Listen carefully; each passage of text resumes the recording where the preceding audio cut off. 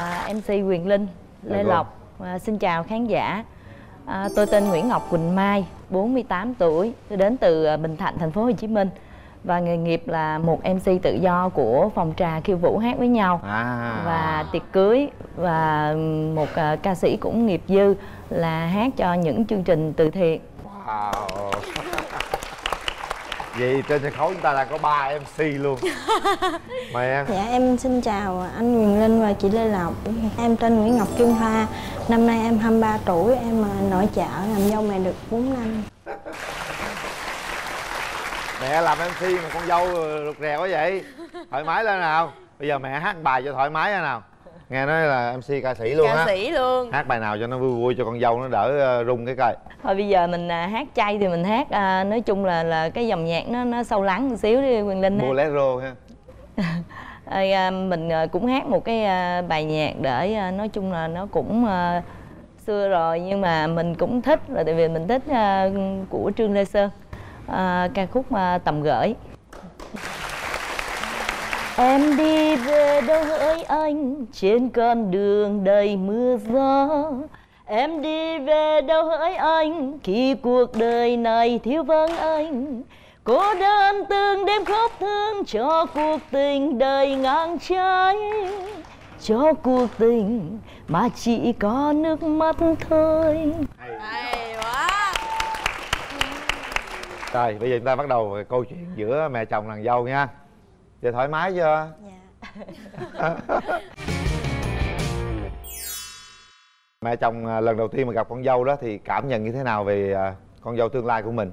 Nói à, chung á là vì con dâu tương lai của à, tôi á thì à, một trường hợp rất là đặc biệt. Vì mình làm về nghệ thuật thì Quyền Linh Lê Lộc cũng biết rồi. Là Nói chung là buôn ở ngoài đường suốt thôi.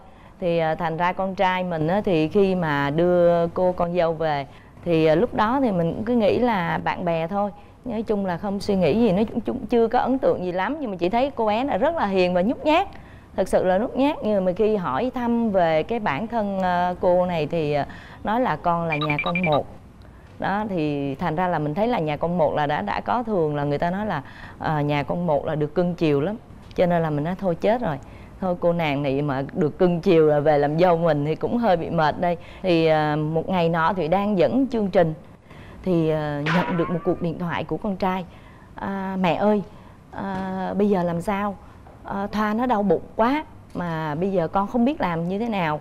Mà bây giờ thì không về bên nhà mẹ nó coi như là mẹ của cô bé này thì ở cũng gần nhưng mà tại vì cô này đau quá thì à, mới kêu gọi điện cho con trai là con chở ngay bé Thoa đi bệnh viện xem như thế nào.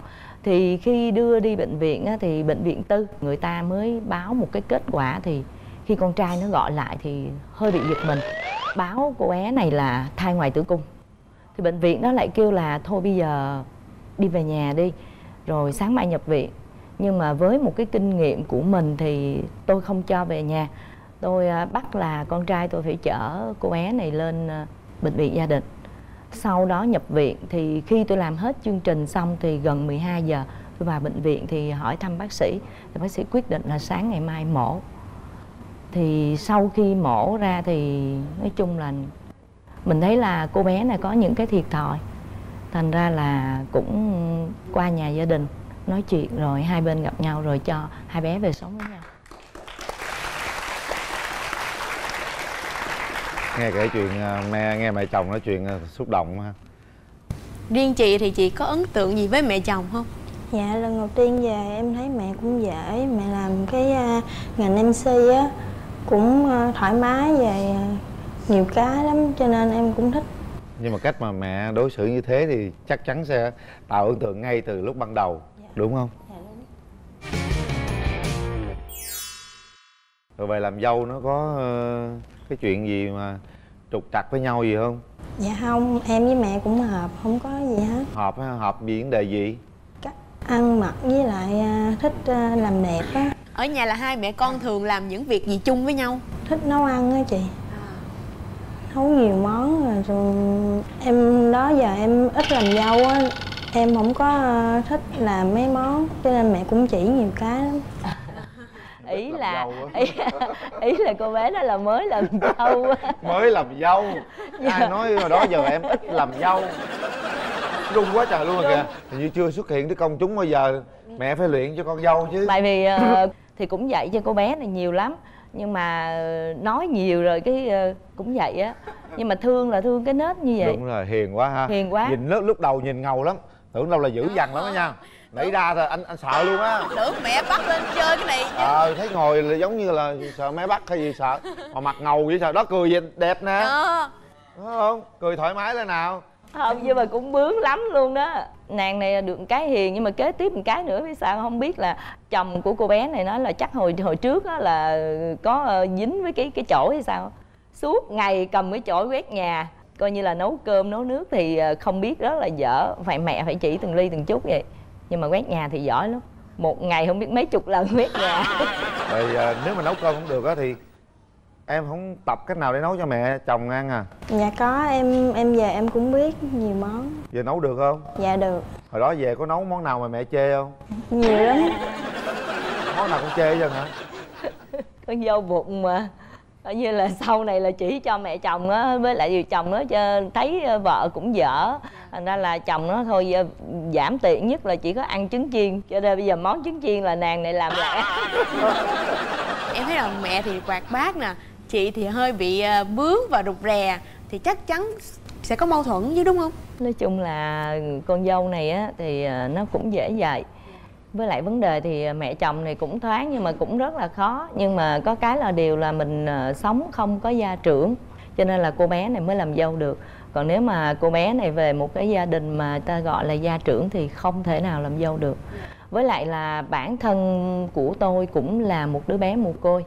Và tôi nghĩ rằng à, tôi sẽ dùng bằng chính bản thân mình để cảm hóa ờ, cô bé này. Vì à, mình thương con thì mình phải thương dâu. Thành ra thôi, dạy cố từ từ. Có nhiều lúc tức lắm, tức điên luôn. Có một cái cái cái sự cố như vậy nè. Mà giận mà, giận đuổi hai vợ chồng đi luôn từ luôn. Nó là nhắn coi như là à, facebook của cô à, kết với mẹ chồng cắt luôn zalo chặn luôn điện thoại chặn luôn. Gì mà dữ vậy? Bởi vì à, con trai á, thì à, cái tánh nó rất là ham vui. Thì à, cái lần đó là đi xô Cần Thơ. Thế là ở nhà nàng ta giấu coi như là có một cái sự việc là chồng thì à, nghe lời bạn bè. Thế là lấy đồ của nhà tài sản của gia đình là một chiếc xe. Thì à, nói chung là nhà thì à, có camera. Thì nói chung là khi nhìn về thì không thấy xe đâu, hỏi gọi điện về, thoa ơi, cái xe mẹ đâu rồi? Nói à, con cũng không biết nữa. Hỏi, ủa, mẹ cất chìa khóa rồi, sao chồng con lấy được? Con không biết, mẹ ơi. Con thấy chồng con lục tung cái nhà hết trơn à. Cái nói nghe suy nghĩ nó, ủa, sao kỳ ta? Cái mà đang đi xô Cần Thơ thì sao về được? Phải bắt buộc hay ngày mai mới về. Ngày mai về thì hai anh chị đi mất tiêu khóa cửa luôn cầm chìa khóa nhà luôn. Gọi điện thoại cho cô này thì nói mẹ ơi ch- chồng con giữ chìa khóa đó. Ờ, tí mẹ về mẹ gọi chồng con mở cửa mẹ vô. Ơi cái khi về gọi anh cũng không bắt máy gọi chị cũng không bắt máy. Đến hồi phải đi ra ngoài tiệm kêu thợ sửa khóa người ta về người ta sửa khóa. Thì ờ, ra kêu nó là em ơi vô mở giùm chị cái cửa. Cái anh chàng sửa khóa đó anh mới nói chứ có phải là cái nhà ngày hôm qua mất chiếc uh, vision không? Trời ơi, mặt mày tái mét luôn uh, quyền linh lên lộc biết không? Tức nghe giận á giận. Thế tự nhiên nghe tới đó hai hàng nước mắt tuôn. Nói chung là tức lắm. Về à, mở cửa mở khóa xong vô nhà thì mấy ngày sau con trai nó mới nhắn một cái tin là mẹ ơi mẹ tha thứ cho con. À, một lần này con ờ, sẽ không bao giờ dám tái phạm nữa. Ờ, ờ, con cũng không biết là tại sao con lại làm điều đó. Nhưng mà thật sự lúc đó mình giận. Con một nhưng mà giận dâu tới 10 là vì mình thương mình mới giận. Là mình nói là tại sao lúc đó không gọi điện báo cho mẹ. Mặc dù cô này rất là sợ chồng. Thì uh, mới nói là con làm như vậy mẹ không còn cái gì để nói với con nữa. Từ bây giờ trở đi vợ chồng con bước ra ngoài sống. Cuộc sống của vợ chồng con như thế nào? Thì vợ chồng con tự chấp nhận. Thì ờ, nói chung là hai vợ chồng cũng lầm lũi, cũng lầm lũi, cũng đi về bên ngoài. Nhưng mà sau một hai tháng thì ờ, nói chung cái lòng làm mẹ mà. Thì ờ, cũng không có gia đình thật sự là sống ở đây bơ vơ lắm, không có người thân, nên là thôi. Đó là tự mình làm mẹ thì mình cũng lại gọi điện cho các con lại. Vì mình nghĩ tới hai đứa cháu nội cũng còn quá bé. Và nói chung là cô này thì con một, được cưng chiều cho nên là cũng có ờ, nói với su cha là vấn đề như vậy như vậy. Thì ờ, cũng ờ, thông qua chương trình lần này thì cũng cảm ơn là chương trình đã cho tôi đến với chương trình. Thì chỉ muốn gửi gắm cho cô con dâu này và đứa con trai, nhất là con dâu. Thật sự nó rất là thương chồng, rất là hy sinh cho chồng. Có những đôi lúc nó rất là bực mình, nói là thôi, bây giờ con bỏ con trai mẹ đi nhưng mà nhiều khi cô này cũng tội lắm, cũng nói là, thôi con bây giờ chồng con làm cái gì con không quan tâm nữa. Nhưng mà sự hy sinh của cô con dâu rất là lớn, chỉ thương được một cái nước đó. Rất là thương. Chồng rất là nóng tính và chồng rất là, giống như là, bản thân tôi không sống một cái cách gia trưởng, nhưng chồng rất là gia trưởng. Mà chính bản thân tôi cũng rất là bực mình nhưng sao cô không giảng hòa cô không nói với con trai mình ờ, dạy con trai mình mà tại sao lại suối là con dâu bỏ con trai mình luôn? Không phải nói chung là cũng giống như mình thấy con trai mình cũng quá đáng. Nên là thực sự là cô bé này á cô không có một cái giống như là một cái bản lãnh của người phụ nữ. Không phải là nam nữ bình quyền nhưng mà mình phải có những cái của riêng mình. Nhưng cô bé này sống giống như là thụ động. Đó tất nhiên là giống như tại phong kiến ngày xưa mà chồng chú vợ tôi á. Chồng sai đâu là chạy đó chồng sai đâu là là là đánh đó. Thì thành ra là mình cũng là một người phụ nữ tự lập cho nên là mình cảm nhận là mình thấy là thôi hay là để giải thoát cho cô bé này đi. Có khi nào cô kêu con trai cô ra cô nói thẳng những cái vấn có, đề này không? cô cô có nói. Cô nói cả hai vợ chồng. Cô nói và nó cũng hứa. Và sau cái lần vừa rồi thì nó cũng đã hứa và nó cũng đã có cái thay đổi. Chị có điều gì muốn nói với mẹ không em cũng biết uh, lỗi em xin lỗi mẹ. Em cũng biết lỗi em cũng thay đổi em sẽ trưởng thành hơn. Không phải như vậy nữa. Không để phải mẹ phải lo lắng về nhiều. Em muốn nói với chồng gì không? Em muốn. À, em muốn nói, nói với đi. chồng. Em muốn nói với chồng gì đi. Chồng đang xem chương trình đó. Em muốn chồng thay đổi tính tình lại tính tình của chồng hiện giờ làm sao? Cũng nhờ chương trình. Nói chung là muốn thay lời con dâu. Thì uh, cũng mong là con trai mình sẽ thay đổi uh, trong cuộc sống để người vợ mình nó nó sẽ yên tâm để nó dạy dỗ hai đứa con trai nên người. Vì uh, cái sự hy sinh của đứa con dâu mình mình cảm thấy nó quá lớn thực sự trong câu chuyện này linh thấy rằng á là đúng là cô con dâu cũng còn nhiều cái tâm sự nhiều cái trăn trở đối với chồng. Chồng. Tôi nghĩ rằng hiện nay chồng à, em ấy đang xem chương trình. Chúng ta cũng phải thay đổi để cho mẹ được hạnh phúc để cho vợ được hạnh phúc và cả gia đình êm ấm. Đúng vậy không cô? Mẹ mong con sẽ thay đổi để bản thân vợ con là người chung sống với con để hai đứa con còn nên người còn riêng bản thân mẹ thì uh, mẹ cũng không sống với tụi con được bao nhiêu lâu. Mong muốn cuối đời của mẹ là con hãy thay đổi hãy yêu thương vợ và yêu thương những đứa con của con.